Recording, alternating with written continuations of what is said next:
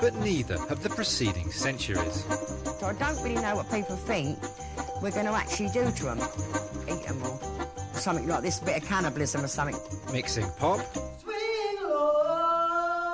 with politics I'm celebrating my culture. I'm an Irish Roma and I am proud of who I am and I am proud of my people. This series will get behind the headlines and popular perceptions to discover why gyps gypsies. We'll see if opportunity knocks for the organisers and entrants at one of the most extravagant events in the gypsy calendar, Travellers Got Talent. They're getting near, so you better pray folks and gypsies are coming to get you. And we'll meet travellers and gypsies with tales to tell and dreams to live. The prize money's a thousand pounds. That money would be a good help. There'll be tears and tantrums. Can you turn the cameras off a minute? There'll be singing, dancing, and a few fashion statements. But there'll also be travellers' rights There's a definite atmosphere of tension here. None of them know where they're going to go. and travellers' wrongs. Do you like your teeth? Yeah, I do like my teeth. Yeah, teeth. Goodbye. As we blend sunbeds and caravans with pride and prejudice. I'm going to fall over. This is a gypsy life for me.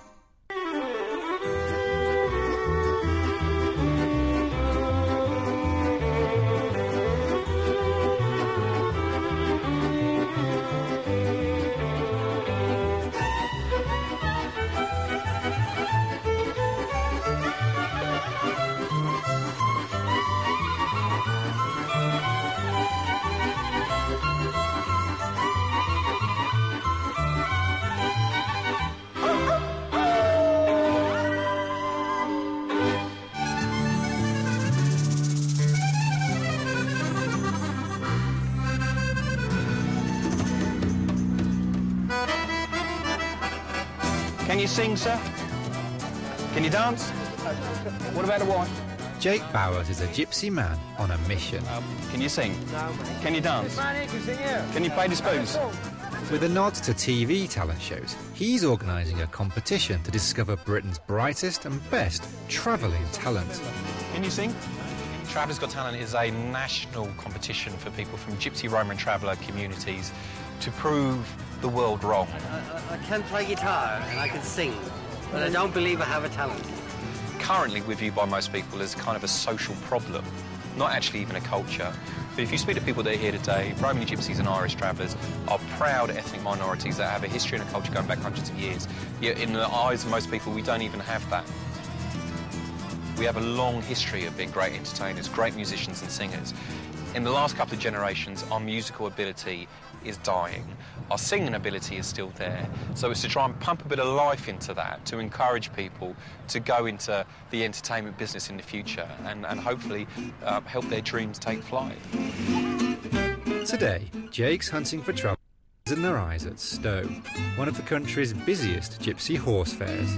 So we need girls that can sing, boys that can sing, dance, come and enter. Trouble is, today's fairgoers aren't keen to compete. No, I'm not singing. They are out there, like I said, they are out there. She wouldn't sing for us, but they are out there. If I buy you a bottle of vodka, will you do it? What about you boys? Can you sing or dance? Come on, come on in. Back up, back up. One of the things you find about gypsy people in particular is they're quite shy people. We've got this reputation of being very loud and brash and ostentatious, but actually one of the biggest challenges we're going to have with Travellers Got Talent is getting that talent to have the confidence to come out on stage. How come you're so shy? the best dancer in the country. But Jake's got a secret weapon.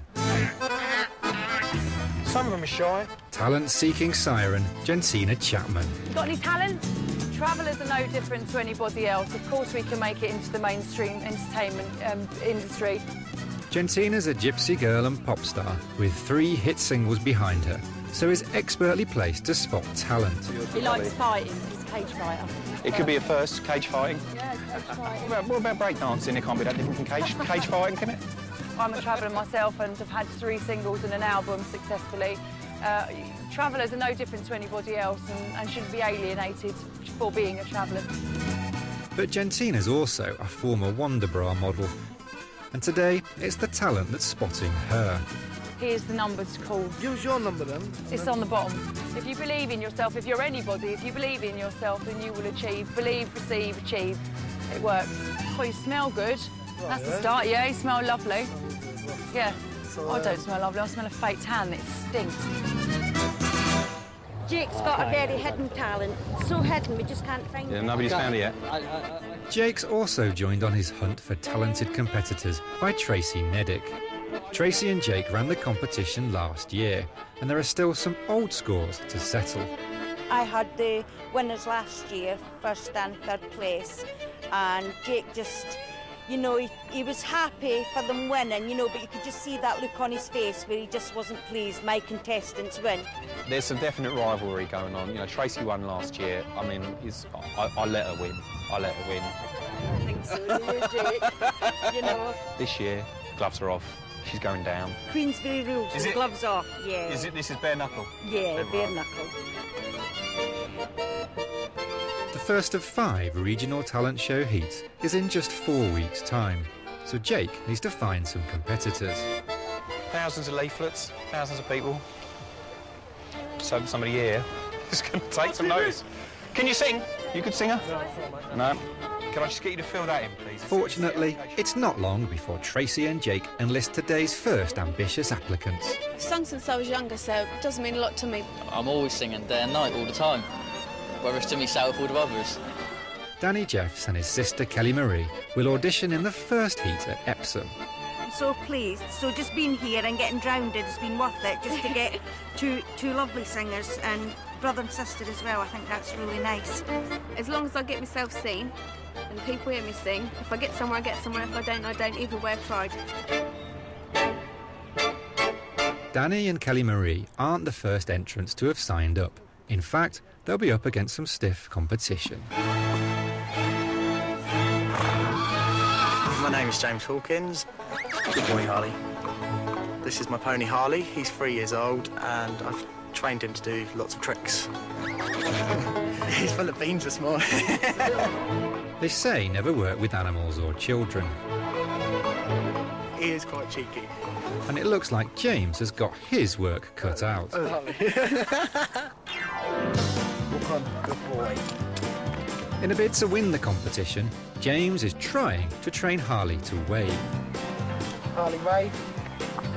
Wave. Good boy.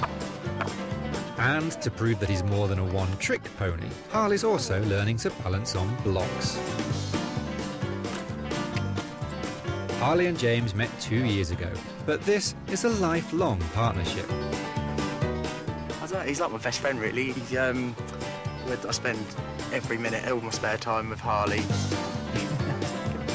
Right? No. He's just a bit keen. The competition is a big deal for James and Harley. Have to clean it up. Let's hope they're not completely pony and trap. While James puts Harley through his paces in their back paddock, talent show judge Jensina Chapman is busy keeping up appearances in her front room. Look at that girl, she's shameful, getting herself all undressed for the cameras. This spray tan is special. It's key to Jentina's preparations for the upcoming heat. Freezing. It's fantastic. I mean, I love a spray tan. Is who I am and this is what I do. The only problem is with this is the bedding, you know, because my bedding's all white. So I end up sleeping on the sofa till the thing wears off. As an ex-underwear model, rap artist and songwriter, Jentina's a very modern gypsy girl with a very colourful history. I love a bit of ink. I've got a star here, and I used to go out with Keith um, Flint from The Prodigy. We gave each other a star. Young love, rock and roll love, that is. But good. Being a travelling girl, I never really thought much would come out alive. I left school at quite a young age um, to help out at home and stuff. But I had a dream, and all I knew is that I wanted to be a singer, so I ran away to London. I was 15 years old and I went with two rucksacks and I, and I knew I'm going to do it. And I did. Now a mum of two, Jentina's life has taken a different track. This is my Annie. Annie, do you like to have a spray tan? Annie is just one, and son Ralph is five. Oh, this is good. Now, uh, you know, I have two children and I'm a little bit more settled than what I used to be, not as mad. Ooh, I like that. Ralph, that's your mother, you lunatic. Oh. I don't think I would ever go back to modelling again, but singing and songwriting I still do because it's a big passion of mine. Jentina is one of an estimated 300,000 gypsies and travellers in Britain today. Around half live in houses, the other half in caravans on illegal, council, or private sites. La la la la la la la. In Surrey, a teenage traveller dreaming of fame and fortune in her chalet is tuning up for the competition. La la la la la la. 13 year old Scarlett Lee lives on a private site near Epsom. Scarlett won her regional heat last year and has got her sights set on winning the grand final this time round. I would love to come first place. She'd like to win, I'd but love if to she win, doesn't, but- she won't be disappointed. Is that what you mean? Yeah. Mm. Nervous? No, not really. No. Scarlett and her mum Daisy think the competition could propel this talented teen onto a bigger stage. You won't be singing for the Queen. Oh. The Queen goes up on Derby Day, doesn't she? My biggest ambition is to be a singer, become famous. When I get up in the morning, I sing. Cleaning up, I sing. Before I go to bed, I sing. Just sing all day, really. I'd love for her to be a singer, to realise her dream. I'd like her to see a bit of life. Don't get me wrong, I mean, we're Romany travelling people. So she knows the rules of our culture.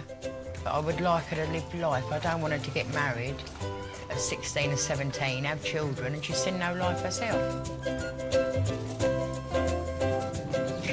I love all my children the same, but I'm so, so proud of Scarlett. I feel like sometimes my heart's going to burst. I'll be crying when she's singing, cry if she loses, and cry if she wins. So I can't, I can't win anyway, can I?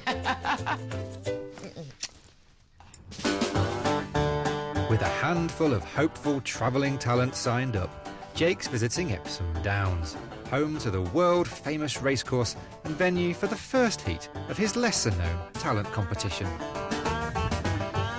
Epsom Downs and the Epsom Racecourse is of huge historical significance to the gypsy community. It's a place where gypsies and travellers always used to come and stop. And as long as there's been a Derby horse race here, there's been gypsy people here. So when they created the racecourse with an Act of Parliament, within that is a, is a stipulation that gypsy people should be able to use these downs for air and exercise. So we're talking a 30 metre square this side of that track. The heat is to be held on the same day as the prestigious Epsom Derby and will be part of a huge festival of racing. We're thinking that the the stage will be here. There'll be a fairground and market stalls catering for thousands of racegoers, including the Queen. And Jake wants to ensure he gets the best plot. Yeah, we don't want the bar too close. We don't want it too far away either. No, it's good. The first heat of this unique competition is just a month away, and there's a lot riding on its success. I do feel a bit nervous, but you know they're slowly trickling in the contestants. You know, so I just hope the people with the real talent that I know that's out there are prepared to come out and show it to the rest of the world. Build it and they will come. I really believe in that.